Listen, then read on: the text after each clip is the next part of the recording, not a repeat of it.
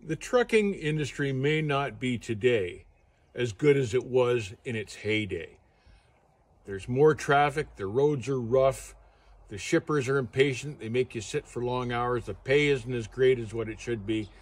But some guys, particularly older guys, still just do it because they simply enjoy the job.